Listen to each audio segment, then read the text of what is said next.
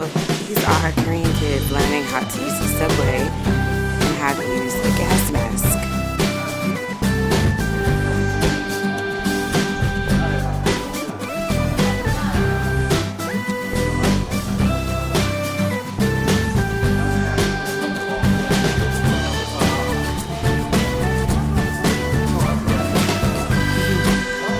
All the cuties are out this morning.